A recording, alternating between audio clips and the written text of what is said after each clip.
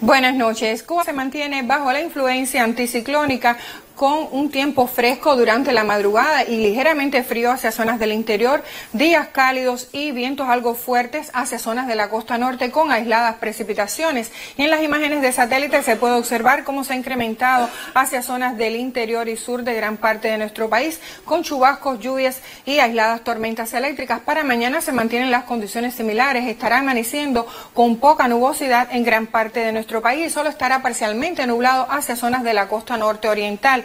Por la tarde estará parcialmente nublado y nublado hacia localidades del interior y sur del oriente del país y hacia zonas del interior y sur también de la parte occidental y central, con algunos chubascos, lluvias y aisladas tormentas eléctricas. Y en cuanto a las temperaturas mínimas en esta próxima madrugada, tendrán valores de 18 y hasta 21 grados Celsius. Pueden ser inferiores en algunas localidades del interior y superiores en zonas costeras. Y el día será nuevamente cálido con temperaturas máximas entre 29 y hasta 32 grados Celsius. Pueden haber valores superiores hacia zonas del interior y en algunas localidades del sur oriental. En cuanto a los vientos, pues soplarán del nordeste al este con velocidades entre 15 y 30 kilómetros por hora que llegarán a 35 kilómetros por hora con rachas superiores. Habrá oleaje en la costa norte oriental que se incrementará en la tarde a marejadas. Tendremos poco oleaje en el resto de nuestros litorales que se incrementará en la tarde a oleaje en la costa